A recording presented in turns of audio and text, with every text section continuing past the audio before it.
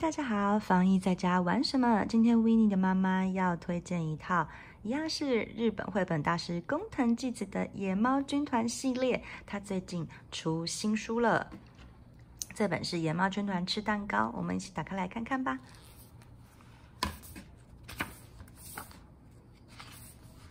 一样哇！野猫军团又在偷看汪汪的蛋糕店，他们这次又想要。做什么坏事呢？哇，好无聊哦！小鸡觉得好无聊哦。这边有好多蚂蚁耶，在偷吃蛋糕。哇，结果有一只野猫不小心踩到蚂蚁，蚂蚁发射了光波，把八只野猫跟小鸡全部都变得好小好小好小。哇，变得像蚂蚁一样小了，怎么办？哎，这下刚好可以。正大光明的吃蛋糕，你看它，小鸡，哎，野猫，野猫在变得好小好小，还有小鸡在偷吃蛋糕，哇，吃的好饱好饱。结果小鸡口渴了，吃了太多甜点，小鸡口渴了怎么办？它想喝水。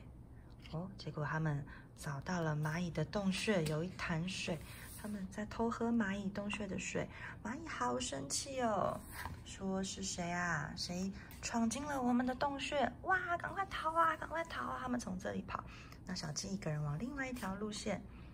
哇，蚂蚁的蚁窝好多各式各样不同的零食哦，都是他们从哪里搬来的？哇，结果小鸡到了以后的育婴室，哇！小小蚂蚁，蚂蚁宝宝都在吃汪汪蛋糕店的蛋糕哎！以后说为了答谢他们，请给他吃几个豆子，让他可以变回原来的大小，原来的样子。哇，嘣嘎！小鸡先吃下去了，变回原来的样子。哇，这时候蚂蚁军团也是，赶快赶快！哇哇哇哇，一起吃！哇，全部爆炸了！大家猜，爆炸之后？汪汪会不会发现？果然，一爆炸又把汪汪的店夷为平地了。汪汪好生气哦，要他们反省。接着要他们反省之后，要他们帮忙做什么呢？如果想知道详情，欢迎到我的 IG We Love Reading 有更详细的内容哦。这一本，我来分享第二本《野猫军团爱吃冰》。这个系列是我们家小朋友超级喜欢，也看了 N 遍的。哇，一样哦，汪汪的冰点，野猫军团又在外面偷看，他们好想吃冰哦。这次是企鹅工厂、冰淇淋工厂送了冰过来。野猫想说啊，那不然我们躲在冰桶里头好了。说不定可以吃到冰。果然，他们躲在冰桶，跟着企鹅一起到了冰的王国。哇！这是企鹅的冰工厂哎，在做好多各式各样不同口味的冰淇淋。企鹅做完了，下班了，野猫就进来偷吃，吃的好饱哦。哇，好冷好冷！结果外面下起了大风雪，完蛋了，野猫回不了家了。他们觉得好困哦。哇，这时候小企鹅刚好想到，该不会还有一壶水还开着没有关吧？就回来，哎呦，看到野猫躺在这里，哇，小企鹅好热心哦，帮他们淋上热水，给他们毛毯，还送热茶来，让他们暖和身体。结果他说现在有大风雪，小企鹅要回去叫爸爸来载他们回去。结果他抄近路走，没想到碰到了杀人鲸，要把小企鹅吃掉，哎。哇，野猫看不得了了，赶快带上工具！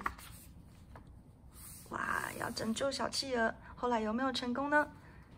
大家欢迎到我的 IG 上去看更详细的内容哦。故事先说到这边，好，我们来分享下一本《野猫军团飞上天》。哇，这一次他们不是吃冰，不是看人家的店面，这次是到汪汪的机场，他们也想开飞机耶。哦，趁汪汪他们在休息的时候，他们又偷偷的坐上了飞机。哇，他觉得开飞机好简单哦。哇，可是汪汪说，这台飞飞机快没油了，螺旋桨要停了。哇，他们只好迫降到一个无人岛。哎，来到了无人岛，肚子好饿哦。他们自己怎样？自给自足哎，我自己钓鱼、钓虾，哇，还有香蕉、捡贝壳、螃蟹，自己还做一些用竹子做成，哇，像这样子的一个树屋。哇，还有温泉呢，温泉水可以泡汤哎，可以喝哎。哇，他们不想回去了，他们觉得无人岛好棒，想要过一辈子。哇，结果日复一日，就这样子，一年过后，开始觉得好无聊哦，东西都吃腻了，无人岛好无聊哦。他们的身上的猫的毛都长得好长好长，他们想回去了。怎么回去嘞？如果想知道他们要怎么回去，欢迎。可以到图书馆借阅，或是去书店购买，或是直接在我的 IG 看更详细的内容哦。快速的介绍下一本《野猫军团开火车》。哎呀，这本被我们家小朋友已经看到都快要撕破了。汪汪的火车店，你看，汪汪的火车，野猫刚刚也在后面这边偷看的。汪汪正在，哇，正在把好所有的蔬果上架到火车的。车厢准备要拿回去卖喽。哦，他们全部都工作完了，就在这边喝个下午茶，等一下要出发。结果猫猫趁着猫咪趁着空档，要偷开火车了。他们加了煤油，加了煤炭，哇，把汪汪的火车开走了。汪汪好生气哦，在后面追赶着。结果呀。野猫他们开一开，觉得肚子好饿哦。看到有玉米耶，想说，哇，那一样放到这个、这个、这个地方，炉火的地方，可以来吃烤玉米。结果他们放太多了，糟糕，又要崩嘎！哇，变成玉米变成满天的爆米花哎！天哪，要怎么收拾残局呢？大家好奇的话，到我的 IG 看看吧。这本是《野猫军团妖怪山》，哇，汪汪一样，汪汪这次开了一个团子店，猫咪又在外头偷看呢。他们在月黑风高、月亮出来的时候，偷偷的潜入店里，学汪汪一样做团子，做了好多好多，准备要吃了。这个团子飞了起来，一阵风像龙卷风一样，团子被卷走了耶！哇，也把汪汪吵醒了。汪汪的店又垮了。哎呀，哎，猫咪他们在找，奇怪，团子到哪里去了？哇，这片黑森林好恐怖哦！他们寻找的脚印，哎，好像有听到这棵树里面有声音哦。哇，怎么是三只妖怪在吃团子啊？太可怕了吧！预知详细内容，一样欢迎到我的 IG。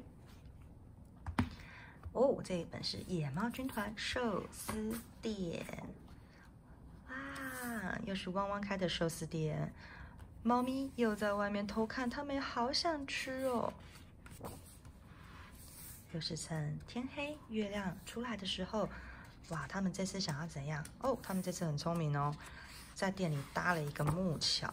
搭搭搭搭到外面，等隔天早上，汪汪师傅在做寿司的时候，就全部寿司就往外送，往外送。哇，奇怪，啊，怎么剩下来都是空盘子啊？原来他们的桥搭太长了，中间已经被好多动物们拦截了。哎呀，吃的好开心哦！想当然，一定会被汪汪发现。汪汪好生气哦。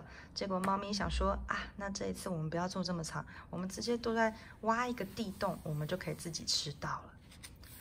哇，汪汪，这次会发现吗？猫咪这次真的能如愿以偿吗？让我们继续看下去吧。我们家最后一本是《野猫军团烤面包》，我们来看一下故事内容是什么呢？汪汪开了一间面包店呢，看起来好好吃哦！大家有看到野猫在哪里偷看吗？在这里哟，他们又在外面偷看了，又想要做什么呀？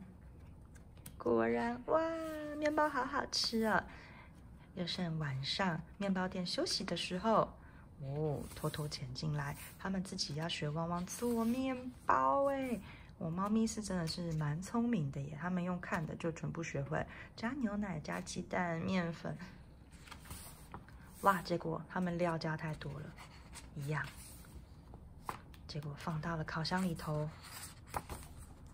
哇，烤箱要爆炸了！你看冒了好多的浓烟呢，危险呐！嘣嘎，完蛋了，又把猫猫的汪汪的面包店弄爆炸了，怎么办？怎么办？汪汪又惊醒，哇，出了一个超级巨无霸的面包，哎，怎么收拾残局呢？预知详细内容，欢迎到我的 IG 看一看哦。谢谢大家，我今天推荐的就是《野猫军团》系列的绘本。有喜欢我的影片，欢迎订阅、按赞、留言、分享，谢谢大家。下次见了，拜拜。